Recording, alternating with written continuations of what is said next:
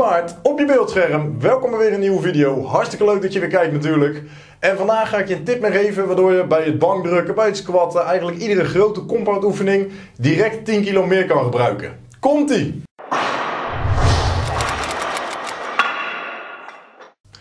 Dit is geen squat. Dit is ook geen squat. En dit is helemaal geen squat. Nee, maar zonder gekheid, wat je in deze foto ziet, is dat de rug helemaal hol trekt. Dat is dus een teken dat deze persoon zijn buikspieren niet sterk genoeg zijn of dat hij de Valsalva manoeuvre niet goed toepast. Want wanneer hij deze wel goed zou toepassen, dan zou zijn rug wel in een neutrale rechte positie blijven.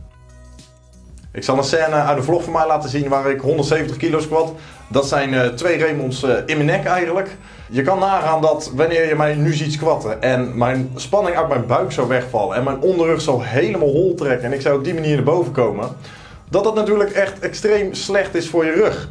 Je tussenwervels kunnen gaan slijten, je zenuwen kunnen gaan klemmen. Al met al rugklachten en sowieso rugklachten met fitness. Je wil ze absoluut niet hebben, dus dit moeten we zien te voorkomen. En gelukkig is dit heel makkelijk te voorkomen door de Valsalva manoeuvre toe te passen. Hij klinkt heel ingewikkeld. Hij klinkt lastig, is het niet. Ik ga even kort uitleggen wat het is en natuurlijk hoe je hem toepast, zodat jij natuurlijk meer kan squatten, bankdrukken, etc. En kun je ook controleren of je hem al goed toepast. Um, ik heb hier achter mij geprobeerd om een poppetje te tekenen. Mijn tekenkunsten zijn, zoals jullie weten, niet al te best. Maar heel kort samengevat, de Valsalva manoeuvre. Um, normaal gesproken neemt iemand lucht in zijn longen en die maakt zijn longen groot. Um, dan kun je natuurlijk nagaan dat er weinig spanning op de buik is wanneer je dit doet. Is natuurlijk niet zo gek, want daar zijn de longen voor gemaakt. Maar je kunt jezelf aanleren door te ademen en die lucht eigenlijk door te zetten naar je buik. Dan zet je dus, maak je dus je buik groter. Dus het is eigenlijk longen, uh, lucht uit de longen weghalen, dat doorsturen naar de buik en daar uh, en dat uitzetten. Ik laat ook gelijk een klein testje zien, een kleine vergelijking, zodat jij beter snapt wat ik bedoel. Stel je voor, we hebben hier onze longen en onze maag. Um, hier zitten onze longen, hieronder zit onze maag. Deze fles visualiseert dus jouw lichaam. Nu, omdat er een dop op zit, is hij natuurlijk afgesloten. Maar als ik de lucht in mijn longen zou houden, dan ben ik dus eigenlijk een fles zonder dop. Als ik deze fles op de grond leg en ik leg er een gewicht op terwijl ik de lucht in mijn longen hou, dus zonder dop, dan zie je dat natuurlijk gelijk alle druk wegvalt en dat er niks van de fles overblijft.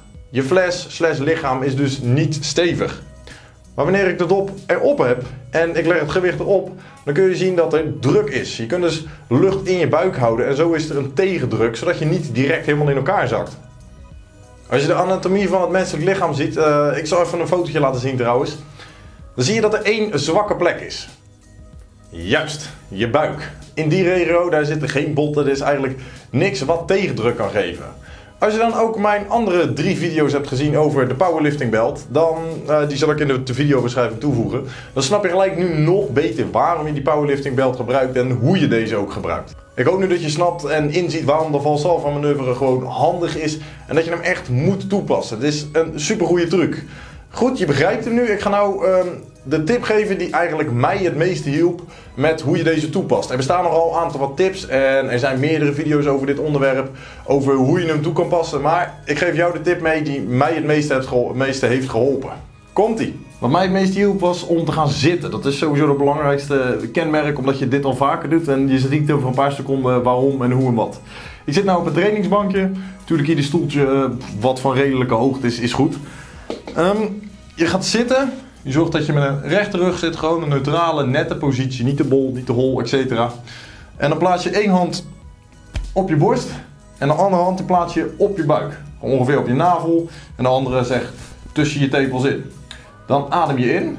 En op het moment dat je inademt en je voelt met je, in mijn geval mijn rechterhand, voel ik dat mijn borst groot wordt, stop ik, begin ik opnieuw. Wat je wilt doen is inademen en dan je buik zo groot mogelijk maken. Dus je wilt gewoon iedere keer wanneer je voelt van oké, mijn borst komt nu vooruit of ik voel dat de lucht daar naartoe gaat. Natuurlijk kan je dit al herkennen doordat je hoofd dit gewoon weet. Je hersenen weten van oké, ik adem. Maar een tweede tip is dus dat je je handen erop houdt. En je hand op je borst houdt en dat je daardoor mee voelt.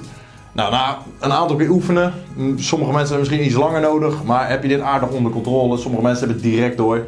Je ademt in, je maakt je buik groot. Het tweede ding wat je dan wil doen, is dat je je buik zo hard mogelijk aanspant. En waarom ik zeg dat je dit al vaker doet, ehm, je gaat er rechtop zitten en stel je voor je zit op het toilet en je moet een nummertje 2 doen. Dan ga je rechtop zitten, span je je buik aan, exact alsof je moet poepen. Je spant hem aan en als je dat helemaal onder controle hebt, dan kan je dat later staan proberen. En natuurlijk bijvoorbeeld de makkelijkste oefening vind ik om het mee te doen is de squat.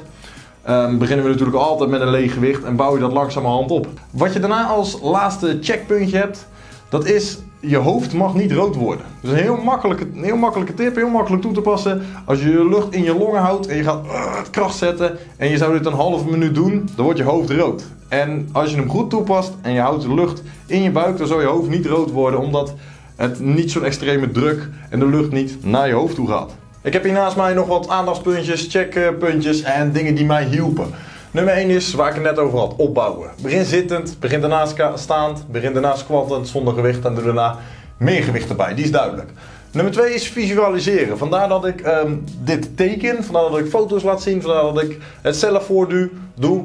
Um, visualiseren. Denk eraan, als je aan het ademen bent, zie het voor je. Zie die lucht naar je buik toe stromen. Werkt verschrikkelijk goed. Nummer 3 is buik, groot maken. Um, zoals je mijn uh, power of uh, powerlifting riem uh, video's hebt gezien, dan waarschuw ik hier ook voor. Als je, het is natuurlijk de bedoeling dat je je buik groot maakt. Alleen een ander puntje waar ik zo naartoe ga. Er zit nog wel een groot verschil in tussen je buik groot maken of je buik bracen, klaarzetten. Als je je buik groot maakt en je denkt alleen maar daar en je ademt heel veel lucht in je buik, dan is de kans best groot dat je onderrug dus alsnog gaat bollen. En dat wil je dus voorkomen. Gewoon ademen zoals je altijd doet. Alleen dan naar je buik toe en klaarzetten. Je hoeft niet overdreven groot te gaan maken. Nummer 4 is dus aanspannen en bracen, waar ik net over begin. Ehm, er zit dus een verschil in tussen je buikspieren aanspannen of je buikspieren klaarzetten.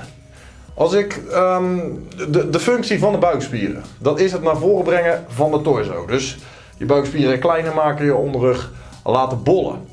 Als ik mijn buikspieren aanspan, dan zullen ze dat natuurlijk gaan doen. Dat mag voor zich spreken. Maar dat is juist niet wat je wilt. Je wilt het alleen klaarzetten. Ze hoeven niet te bewegen. Dus je houdt lucht. Met lucht creëer je een soort tegendruk. En dan span je ze aan, slash brace je ze. Dus je zet alleen klaar. En laatste nummer 5 is check slash pijn. Um, het is natuurlijk altijd goed om alles te filmen. Het is foto's te nemen, etc. Altijd jezelf controleren. Dat is natuurlijk de allermakkelijkste check voor jezelf. Um, squat een keer met een leeg gewicht, even zonder t-shirt, zodat je kan zien van is mijn rugpositie, is die goed.